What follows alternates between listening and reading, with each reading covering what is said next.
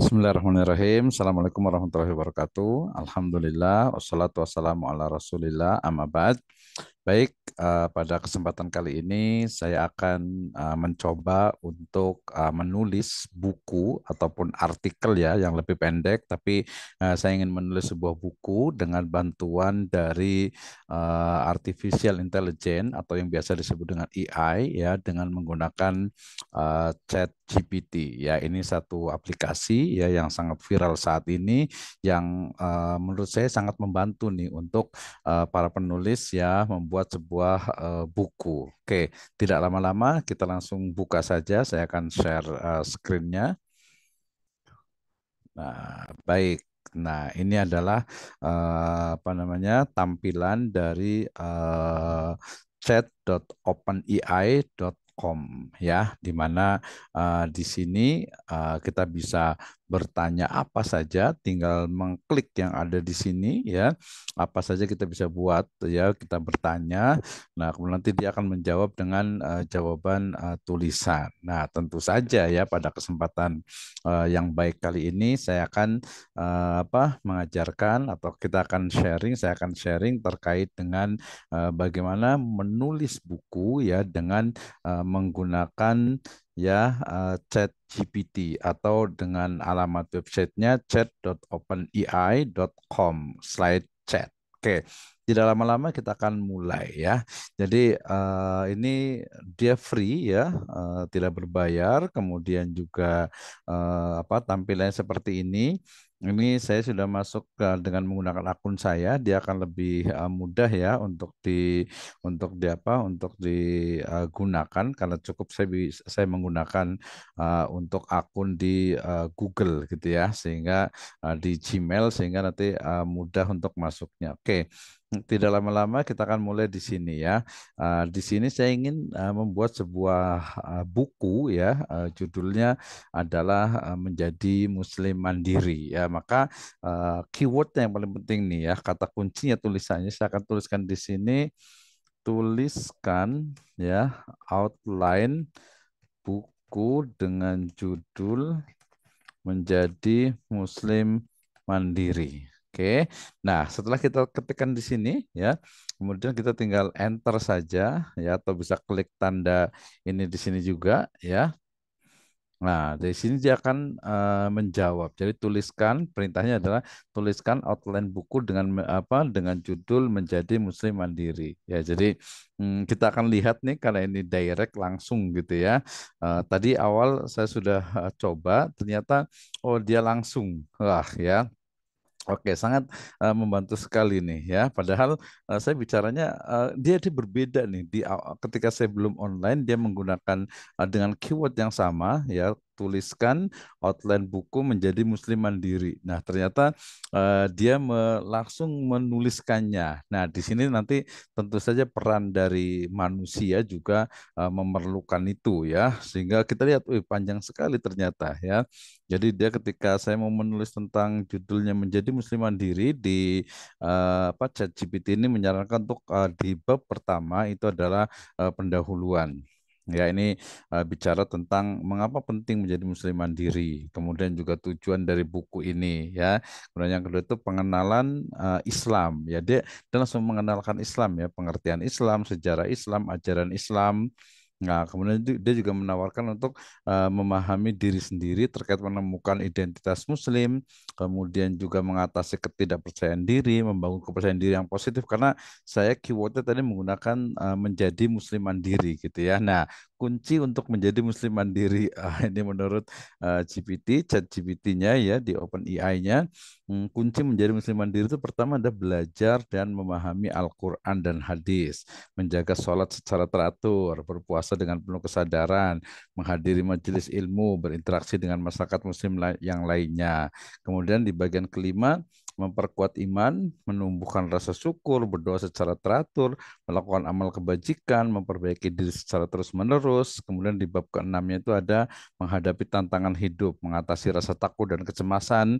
Nah, karena tadi keywordnya lagi-lagi adalah eh, menjadi muslim mandiri gitu ya kemudian menghadapi rintangan dengan tekad yang kuat, menemukan makna dan tujuan hidup, kemudian menjadi bagian masyarakat muslim yang berkontribusi mencari kesempatan untuk memberikan manfaat bagi masyarakat, berkontribusi dalam berbagai kegiatan keagamaan, berperan aktif dalam organisasi muslim, sampai kepada kesimpulan mengapa menjadi muslim, menjadi muslim mandiri penting bagi individu dan masyarakat. Kemudian harapan dari penulis bagi pembaca pembaca buku ini. Jadi ada kayak semacam uh, rekomendasi dan juga ada daftar pustaka. Nah, Nah, kalau kita sudah menemukan, anggap saja kita 100% nih ya nulis bukunya itu dari uh, apa chat GPT ini. Maka kemudian dari sini kita bisa simpan, kemudian kita bisa langsung, ini kan sudah jadi outline ya, sudah jadi outline, maka kemudian uh, kita detailkan lagi ya. Jadi mulai dari bab yang pertama. Jadi kalau umpamanya nanti ini kita bisa bantu dengan uh, membuka yang ini apa, membuka untuk uh, apa wordnya jadi ini kan uh, tentang ini ya, membaca buku ya atau menulis ya. Jadi hmm, saya akan buka seperti ini ya. Saya akan buatkan setengah juga agar lebih mudah. Oke, nah seperti ini. Jadi ini uh, judulnya, judul bukunya adalah uh, menjadi Muslim Mandiri di sini ya. Oke, ini menjadi Muslim Mandiri. Kemudian ini kita tinggal kopikan dari mulai bab satu pendahuluan gitu ya sampai ke daftar pustaka bab 8. Nanti sebenarnya eh, kalau untuk ini boleh ini kita bisa tuliskan masing-masingnya ya. Hmm, sorry saya gunakan apa ini agak lebih langsung ya. Jadi uh, paste spesial kemudian pakai unformatted text biar tidak ada sampingnya. Nah, kita lihat. Hmm, ternyata di sini sudah lengkap semuanya nih ya. Ini bab satu pendahuluan ya, kemudian uh, bab duanya pengenalan Islam ya, saya kasih ini agar tidak agar lebih kelihatan ya. Ini langsung jadi outline nih ya. Oke, hmm, bab duanya pengenalan Islam ya. Kemudian bab tiganya adalah memahami diri sendiri ya.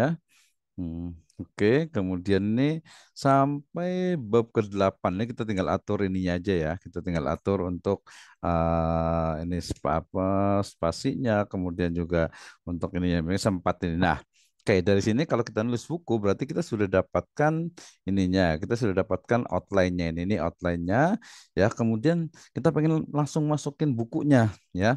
Jadi ini kita copy, mengapa penting menjadi muslim mandiri kita lihat ya. Kita juga sama, tinggal letakkan di sini gitu ya. Kita letakkan di sini copy paste ya. Mengapa penting menjadi muslim mandiri? Kita tinggal klik ya. Oke, start.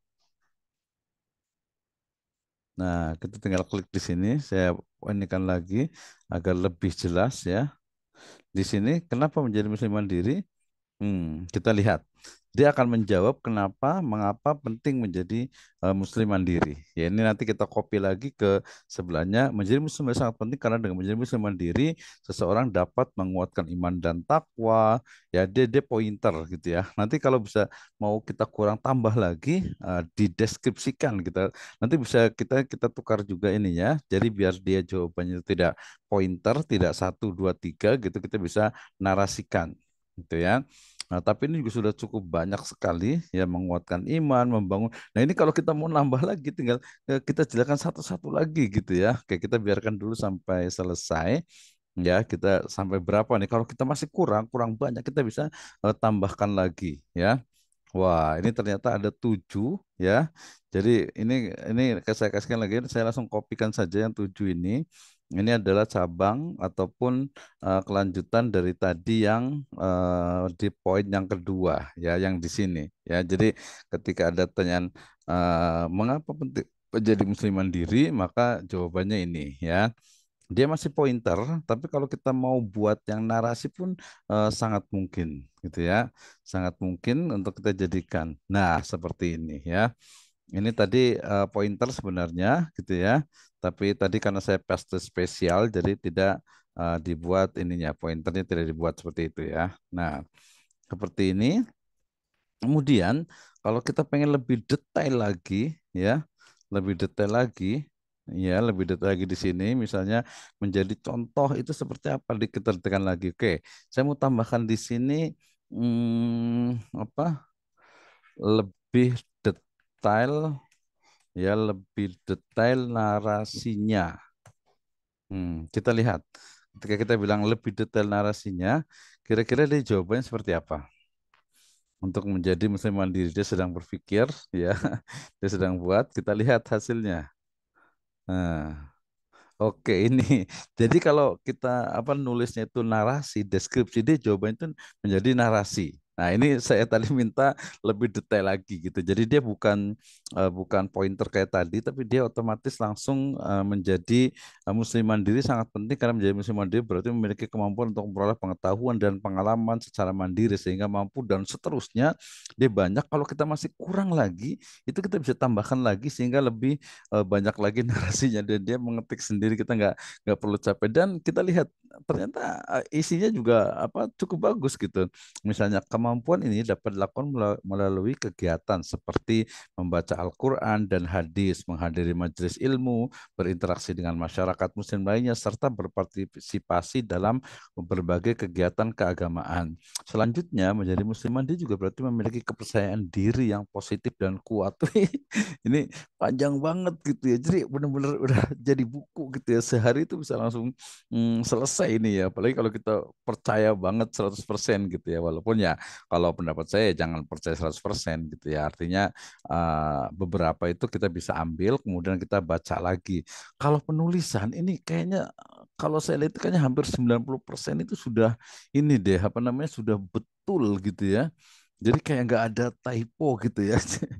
nggak kayak kalau kita ngetik itu kan banyak banget typonya. Ini yakin benar-benar nggak ada yang typo ini sampai uh, D-nya, Islamnya juga I-nya besar. Kemudian juga uh, kata-kata sambung di dan seterusnya itu dia betul-betul uh, detail gitu ya. Nggak nggak ada yang salah di dunia juga uh, dipisahkan. Jadi kayaknya kalau nulis apa skripsi, tesis, disertasi itu mudah banget pakai ini deh ya. Oke, ini kita udah sampai di sini ya. Tadi uh, lihat ini adalah uh, pendahuluan, kemudian ini subjudulnya mengapa penting menjadi muslim mandiri. Ini tadi yang Hmm, yang ini contoh tadi saya menggunakan uh, apa namanya menggunakan pointer sehingga jawabannya dia menjadi uh, pointer nih seperti ini ya. Dia menjadi pointer tapi kalau nanti kita perintahnya itu uh, menggunakan narasi hasilnya itu narasi seperti yang ada di bawah ini. Wah masya Allah ya keren banget kan? Nah oke. okay kita lanjutkan lagi ke tujuan dari buku ini. Nah, ini kayaknya uh, perlu sendiri sehingga saya saya lewatkan lah ya. Tujuan dari buku ini kan sudah jelas gitu ya. Oke, saya ingin bicara tentang yang kedua nih, tentang pengenalan Islam ya. Kita lihat uh, pengertian Islam dia bisa nggak nih kira-kira nih ya. Uh, Chat GPT ini memberikan penjelasan kepada saya tentang uh, narasikan uh, narasikan coba kita lihat narasikan uh, pengertian Islam ya. Pengertian apakah saya pakai agama agar lebih lebih jelas ya. Narasikan pengertian agama Islam. Kita lihat narasikan atau deskripsikan. Kita lihat jawabannya. Ya agar nanti jawabannya itu dia tidak pointer gitu ya. Wih, benar, masya Allah ya. Agama Islam adalah agama yang didasarkan pada keyakinan monoteistik, yaitu keyakinan bahwa hanya Allah Subhanahu Wa Taala yang menjadi yang menciptakan alam semesta. Hmm, kata salam berarti damai atau sejahtera. ya, masya Allah. Ini luar biasa sekali ya. Pengertian agama Islam juga mencakup keyakinan akan kesalahan Allah Subhanahu Wa Taala dan bahwa Muhammad SAW adalah nabi terakhirnya, gitu ya. Nah, kita lihat dia menginikan Al-Quran atau tidak ya? Kalau tadi kemarin di yang uh, sebelumnya, yang khutbah Jumat itu dia pakai Al-Quran, dia pakai Al-Quran atau tidak nih ya? Panjang banget di pengertian tentang Islam gitu ya. Hmm, pengertian Islam mencakup konsep bahwa manusia adalah khalifah di muka bumi, tanggung jawab dan seterusnya. Nanti kalau kita mau detailkan lagi, misalnya saya pengen ini, saya ini kan ini dia dia membaca pengertian dari agama Islam gitu kan. Nah, kalau nanti saya rubah sebentar ya sampai dia selesai, hmm, saya rubah menjadi misalnya uh, Islam secara uh, bahasa atau tuliskan Islam secara bahasa dan istilah. Oke ya, ini sudah ada, sudah dapat nih banyak banget tentang pengertian tentang Islam ya. Hmm, ta sampai di eh sorry. Ntar. Nah, saya akan kopikan dulu ini pengertian tentang Islam ya menurut Chat GPT ya. Nah, saya letakkan di sini nih saya nggak copy paste ini ya sementara biar aja biar uh, jelas. Nah, seperti ini nih ini belakangnya masih ini nggak nggak ada masalah. Nanti kita tinggal paste paste spesial aja ya. Nah, saya ingin uh, buat ini uh, di sini saya ingin membuat misalnya uh, tuliskan Islam secara bahasa dan istilah. Oke, ini karena uh, menurut saya ini menurut saya ini yang penting justru tuliskan Islam secara ya secara bahasa dan jangan sampai salah ngetik ya ketika itu. Oke, kita lihat. Tuliskan uh, Islam atau pengertian Islam secara bahasa dan istilah. Nah, kira-kira uh, dia bisa membaca tidak nih? Oh ya, di belakang di bawah ya. Hmm, Islam secara bahasa berasal dari kata Arab al-Islam yang berarti penyerahan atau penundukan diri kepada Allah Subhanahu wa taala ya. Nah, ini juga jelas sekali istilah Islam merujuk kepada uh, ajaran agama yang berasal dari Al-Qur'an. Kemudian konsep dasar dalam Islam adalah tauhid yaitu keyakinan akan keesaan Allah Subhanahu wa taala. Nah, ini dilengkap nih. Kita lihat dia ngambil dari misalnya siapa tuh Syekh Utsaimin atau tidak gitu ya tentang uh, makna dari uh, Islam itu sendiri gitu. Ya. Nah, Secara umum, Islam adalah agama yang mengajarkan nilai-nilai moral yang tinggi dan memberikan penuh hidup bagi umat manusia. Islam juga mempunyai sumber ajaran besar Al-Quran hadis serta praktik. Wah, dia juga tulisnya praktik gitu ya. Ibadah dan aturan dijalankan oleh umat muslim. Wah, ini hmm, ini cukup lengkap sekali ya. Hmm, kita ambil dari sini, nah kita bisa letakkan. Nanti kita tinggal uh, ngedit saja gitu ya. Nah, tinggal saya, saya biasa paste paste paste pakai paste spesial ya agar lebih ini, uh, ini dia lebih rapi. Hmm, kemudian hmm, saya ingin tentang sejarah Islam. Uh, ini kayaknya kalau sejarah Islam pasti banyak sekali nih. Narasikan secara singkat tentang sejarah Islam. Uh, ini kayaknya panjang ini, tapi saya belum saya perintah secara singkat kita lihat kayak gimana sebenarnya uh, sejarah Islam menurut ChatGPT ya ChatGPT. Sejarah Islam dimulai pada abad ke-7 Masehi ketika Nabi Muhammad SAW menerima wahyu pertama di Gua Hiro. Selama 23 tahun Nabi menyampaikan ajaran Islam kepada umat Islam di uh, di Arab setelah wafatnya Nabi uh, juga kepada khalifah dan penerusnya. Oh, dia langsung dia karena singkat dia langsung ke uh, Khulafaur Rasyidin ya, kemudian hmm, panjang nih ya, uh, kemudian sampai ke uh, Spanyol, kemudian oh dia masih Rasyidin cukup panjang. Jadi kalau ngomong sejarah pasti panjang sekali ya. Nah, kita lihat ininya tuh. Nah, tapi tetap saja ya, jadi uh, tetap harus uh, dibaca agar uh, bisa mungkin ada yang kesalahan atau apa atau mungkin memang sumbernya misalnya misalnya di sini kita lihat nih uh, pada masa Khalifah Ali bin Abi Thalib terdapat pesan antara umat Islam yang kemudian menghasilkan munculnya dua khalifah yaitu khalifah Sunni dan khalifah uh, Syiah. Perpecahan ini masih berlangsung hingga saat ini. Nah, ini maksudnya di situ khalifah itu adalah kepemimpinan sebenarnya itu ya. Oke, ini sampai ke abad 18 dan abad ke-20 karena tadi saya menyebutnya uh, dengan singkat gitu ya. Singkatnya juga uh, segini juga nih ya. Hmm, saya letakkan di sini, kemudian copy paste ya, kemudian unformatted text. Nah, ya, ini uh, selesai nih gitu ya. Memahami diri sendiri misalnya yang berikutnya nih ya. Misalnya, oh ini pasti akan banyak karena sifatnya itu umum ya menemukan identitas Muslim. Oke, saya menekan hmm, jelaskan gitu ya, jelaskan mengenai uh, apa menemukan uh, cara gitu ya, cara menemukan identitas Muslim. Eh bukan cara, cara uh, menguatkan ya, cara menguatkan jangan menemukan harusnya ya kita ganti ya. Tapi nggak apa-apa. Jelaskan saya akan teruskan jelaskan mengenai cara menemukan identitas muslim. Kita lihat. Hmm, seperti apa dia caranya? Oh, di sini dia an error occurred. Uh, if this issues persist please contact us through our help center at helpopenea.com Wah, ini kayaknya tadi agak cukup banyak. Kayaknya mungkin perlu kan ya. Misalnya saya pakai menemukan Mungkin dia keywordnya ya tidak menggunakan itu. Oke. Ah, di sini ada sedikit ini berarti saya akan uh, full screenkan dulu. Kemudian mungkin dia karena terlalu banyak ya kayaknya. Ah, ya betul dia dia uh, dia kalau free memang uh, dia perlu ada, ada limited ya, ada limited gitu ya. Oke, saya clearkan conversation dulu. Nah, kemudian saya ulang lagi dari awal tadi menemukan identitas muslim. Oh, dia berarti uh, beberapa bagian kalau yang free itu dia akan uh, menemukan itu. Jadi uh, perlu waktu lebih uh, beberapa saat lagi untuk bisa menemukan ini ya, untuk bisa mengulang kembali ya. Misalnya saya ganti lagi untuk outline hmm, buku. Ah ya betul. Oke, jadi dari sini uh, apa pemirsa sekalian kita bisa uh, temukan bagaimana sebenarnya lihat ininya Wih, sangat banyak sekali. Hmm, kita lihat di uh, please stand by. Hmm. Ini ini sudah dari awal. Uh, we are experiencing a high demand. Please. Oh ini ini saking apa ya? Saking begitu banyaknya yang dalam tanda tergila-gila dengan ini sehingga dia banyak sekali wah. Ya jadi tadi sebenarnya bukan karena ada batasannya, tapi karena memang ini kita menemukan identitas Muslim. Kita lanjut dulu. Ketika kita bicara menemukan identitas Muslim, Hmm, apa jawaban dia?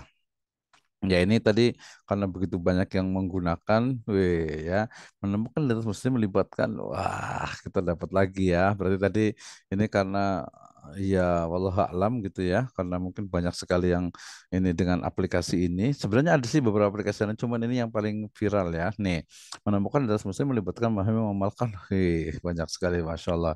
Subhanallah. Jadi dari sini kita gak bakal kehabisan ide tulisan gitu ya ini menemukan identitas Muslim dan menyebutkan pelajari ajaran Islam, pelajari uh, ajaran Islam melalui membaca Al-Quran, hadis gitu ya. Oh ternyata sangat luar biasa sekali. Kita biarkan dulu sampai selesai dulu uh, penuhi kewajiban Islam. Wah, ini jadi jadi kita tinggal satu-satu. Ini ini contoh saja ya. Mungkin nanti teman-teman semua bisa langsung praktek nih. Jadi uh, bikin buku termasuk sebenarnya ya uh, membuat uh, skrip video pasti udah bisa ya, insya Allah bisa ya jelas sekali. Kemudian dia membuat novel pun dengan alur yang ditentukan itu kita, dia bisa ngobrol tuh, dia bisa ngobrol di sini, dia, dia bisa membuat uh, kita jadi buat outline-nya dulu, kemudian nanti dia akan uh, apa akan menyusunkan kata-kata untuk kita.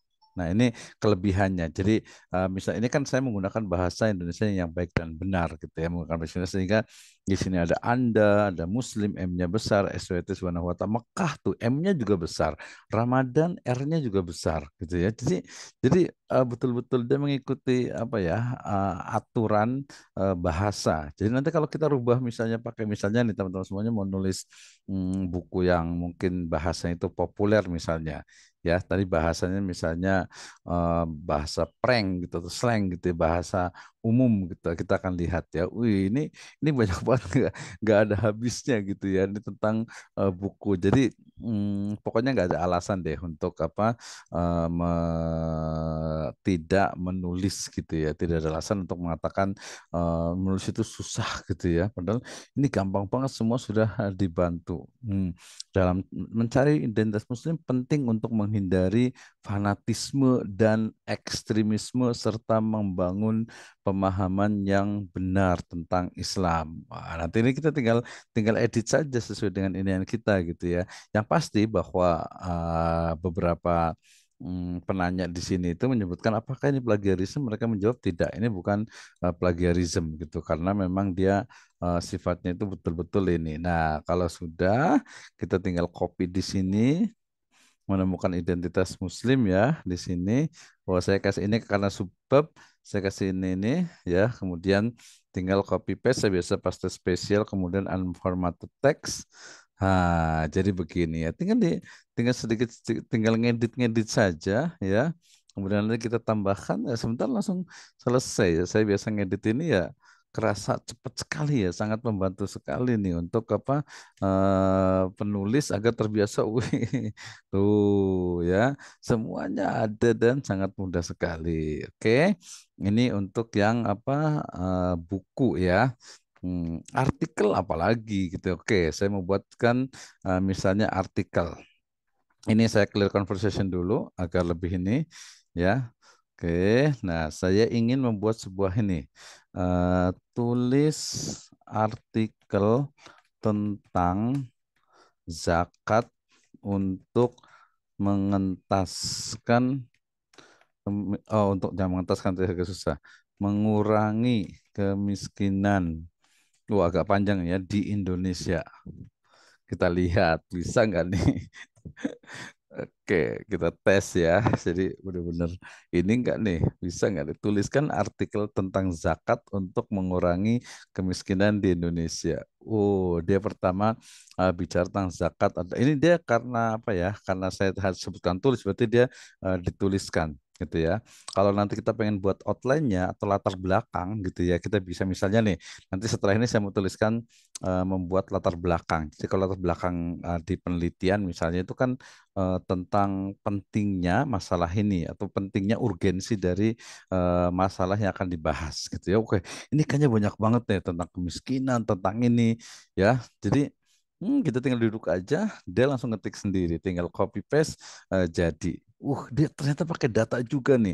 Kemiskinan adalah masalah yang masih menjadi perhatian serius di Indonesia. Menurut data Badan Statistik BPS pada September 2021, angka kemiskinan di Indonesia mencapai 9,7 persen atau sekitar 25,97 juta. Ya betul, saya pernah ini sekitar 25 jutaan gitu ya. Nah ini dia dia ada datanya gitu. Belum lagi nanti kalau ada kita tambah referensinya gitu ya. Eh, referensi tentang zakat gitu misalnya. Itu kita akan temukan juga. Jadi nanti sedikit-sedikit lah videonya ya.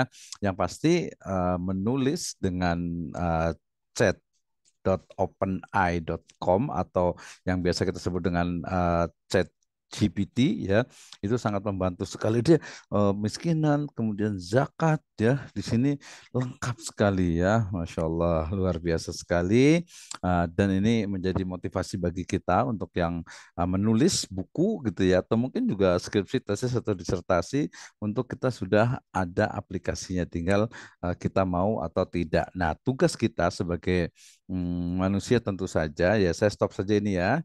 Mm -hmm.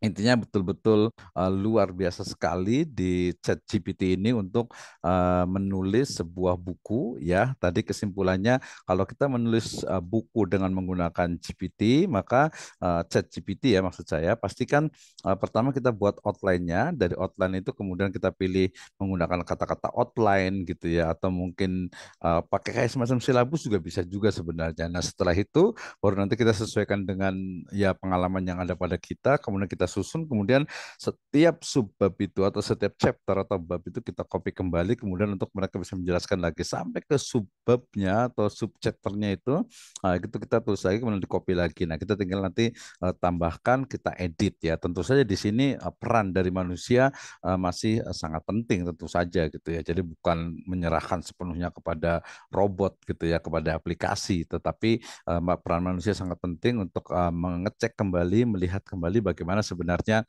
hmm, isi kontennya. Kalau bahasa tadi saya lihat kayaknya hampir 99% itu penulisannya itu betul gitu ya, tinggal uh, kontennya. Nah, nanti konten-konten yang sifatnya normatif tentu saja uh, perlu di, ditambahkan karena logikanya begini, ya uh, mereka atau uh, uh, chat GPT ini mereka kan ngambil dari berbagai tulisan ya yang ada di internet mau jurnal, mau uh, tulisan populer, mau apa saja yang ada di itu kita mereka ekstrak kemudian informasikan kemudian mereka kumpulkan menjadi sebuah ini sebuah informasi gitu ya. Sehingga ya ya sama aja ketika kita belajar dari orang kemudian kita ngumpulkan kita nulis apa dari pengalaman orang-orang lain itu ya berarti logikanya adalah adalah sama. Nah tinggal memang uh, ya namanya juga mesin atau robot gitu ya aplikasi dia ya tidak memiliki nilai nilainya itu sendiri justru uh, oleh para uh, pembuatnya. Maka kita juga perlu berhati-hati kita perlu mengedit dari tulisan-tulisan yang sudah sudah ada. Nah, demikian mudah-mudahan bermanfaat.